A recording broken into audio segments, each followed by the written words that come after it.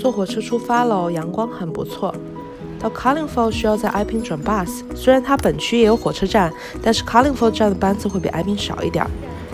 土澳的冬天很美，天空总是湛蓝，沿途都是当地典型的 house，这边生活有更多的澳洲味道。十分钟车程就到了 Carlingford 的市政中心。Carlingford Court 是 Carlingford 最具有规模的一个购物中心，占地大概三万七千平方米。在悉尼的六百五十八个区域中，这样规模的购物中心也只有仅仅四十六个。你熟悉的超市这里基本都有，包括通利、宾利、Coles、w o l w o r t h s Target 等等。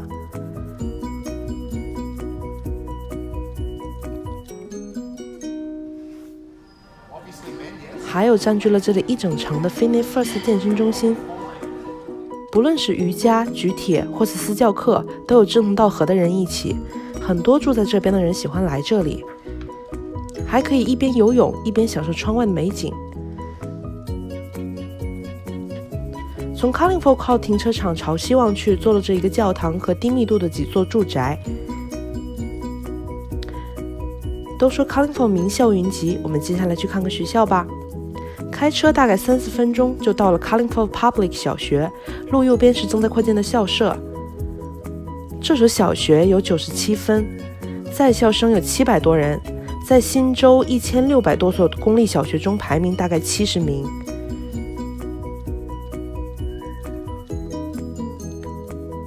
接下来我们就到了 Mobs Hill 瞭望台，这是由 Parramatta City Council 建成的，朝西南看去是一个茂密的森林公园。生机勃勃，在 Carlingford 还有好多个这样茂密的自然保护区。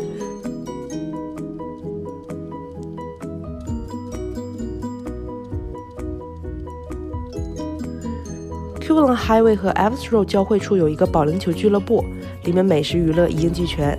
沿着路再向前就是 Carlingford 火车站。继续向西南，感受着 Carlingford 当地生活的样子。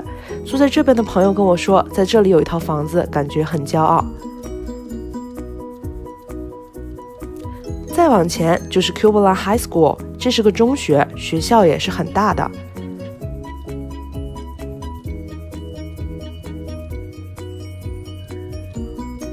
来到 Carlingford，还有一个不得不说的就是天才辈出的 James Roos 精英中学，连续二十八年新州高考排名第一。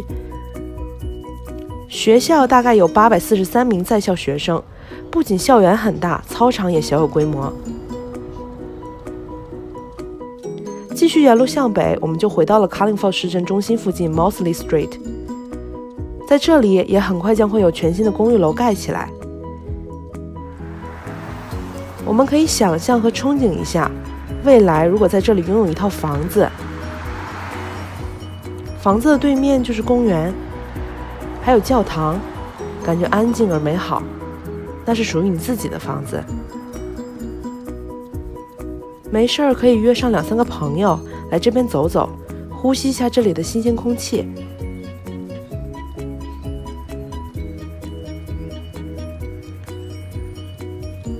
也可以偶尔过来锻炼一下，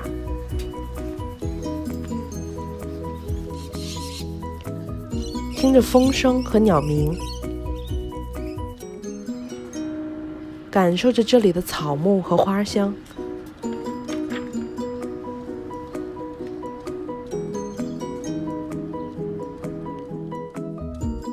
旁边紧挨着的还有幼儿园。